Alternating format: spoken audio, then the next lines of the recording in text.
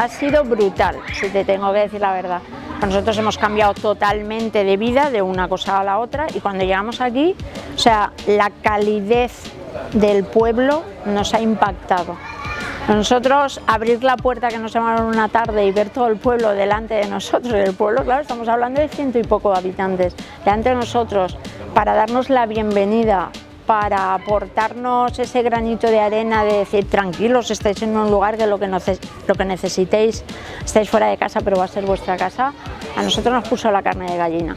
Han estado todos muy pendientes de nosotros y de los niños desde el primer momento, tanto la corporación, el alcalde y todo el, el grupo de la asociación y el resto de población, la verdad es que nos ha impactado. Bueno, a ver, la opción pasaba porque hemos tenido niños pequeñitos que tienen ahora 11 meses, un par de gemelos, y nos planteamos desde hace muchísimos años buscar para, para criarlos un entorno idílico, cosa que ahora ya no existe en las grandes ciudades.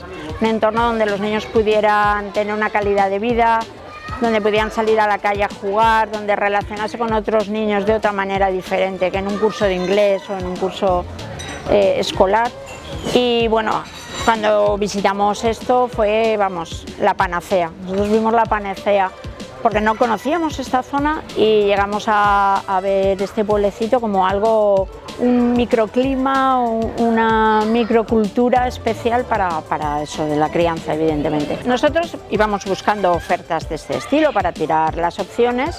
Estábamos en otros, en otros programas de la Comunidad Valenciana que buscaba y salió viendo internet, sí, llevábamos ya tres años o algo así.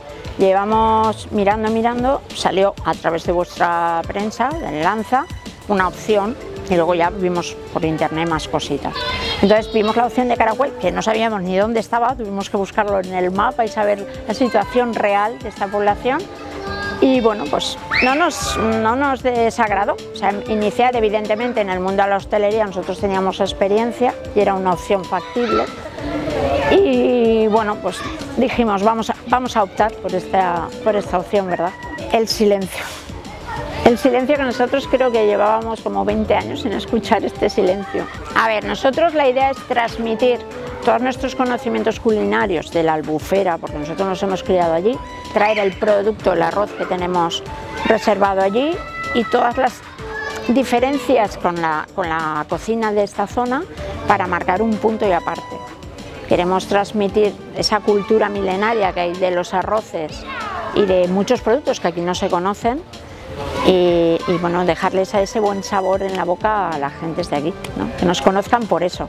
Mira, abrimos el domingo y ya hemos tenido reservas, pues tres o cuatro reservas puntuales pero que bueno, han venido exclusivamente a, tomar arroces. A ver, lo más interesante es que, que reserven, porque es un lugar idílico, pero que mucha gente ya conoce.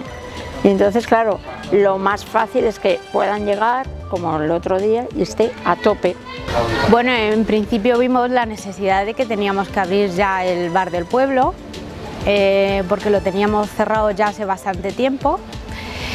Eh, la iniciativa, pues mm, con la ayuda fue del, ayuntamiento y con la ayuda de la asociación Cheritrones, eh, pensamos en, en a ver cómo podíamos atraer gente para repoblar el pueblo también, que era una de las necesidades que tenemos también aquí en Caracuel.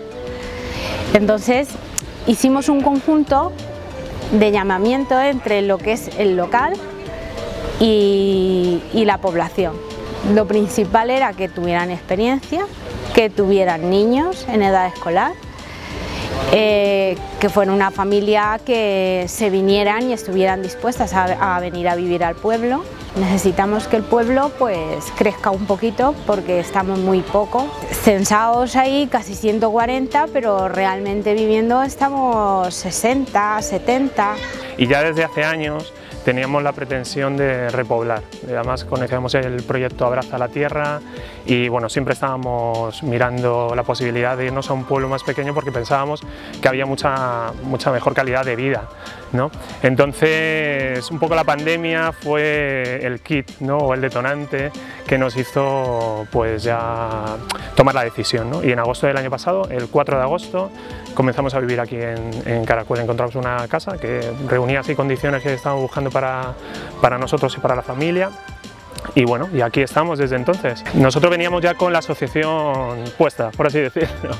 La asociación ya asistía, que es una asociación cultural, la asociación Cheritrones, y bueno, cuando llegamos a Caracuel eh, vimos un poco el potencial que tenía el, municipio, es un municipio que está muy bien ubicado, está entre dos localidades eh, grandes como son Puerto Llano y, Ciudad Real, y entonces mm, viendo un poco el potencial que tenía histórico y a nivel cultural, eh, montamos un proyecto entre mi pareja y, y yo, que se llama Caracuel, un pueblo de cuento, se lo presentamos al alcalde y desde entonces pues estamos trabajando para, hacerlo, hacerlo realidad y tiene varios ejes.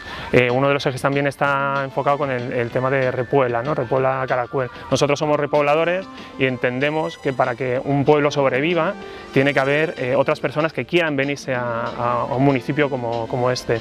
Entonces, eh, hablando con Ismael y viendo un poco qué podíamos hacer, pues surgió esta idea de, lanzar el proyecto Repuela y teniendo en cuenta que el bar estaba cerrado y que puede ser una aliciente para que vinieran personas, pues aprovechamos el tirón del bar, encontramos una casa que reunía condiciones y lanzamos el, proyecto. Nosotros empezamos con la idea de ponerlo para una quincena, es decir, que recibir solicitudes durante 15 días. ¿Qué pasó? Que eh, el primer día ya fue una locura, ya teníamos más de 100 solicitudes y cada día iban entrando 100, 200, 300 solicitudes, entonces para organizar todo eso pues era muy complicado, es decir, llegamos a tener unas 1500 solicitudes. Pues nos ha gustado su perfil porque reúnen eh, varias condiciones básicas que nosotros pedíamos. Uno era el tema de que fuera una familia que tuvieran niños en edad escolar o, menores, es decir, en este caso tiene dos, bebés y aparte tiene un, hijo, Borja, que tiene 19 20 años, que además puede apoyar el proyecto del bar, que eso es súper importante. Eh, luego, que tuvieran experiencia en, hostelería demostrable, tanto en formación como en, pues eso, en, haber regentado negocios o haber sido empleado de, de negocio de este tipo. En este caso, Elizabeth pues ha sido jefe de cocina, ha regentado su propio negocio y bueno, pues eso era para nosotros súper importante. Nuestro proyecto es un proyecto de vida, no es un proyecto de hostelería ni de negocio. La idea es que nosotros estemos aquí, ojalá, hasta que, pues mira, nos echen. Pero la idea es venir a vivir aquí.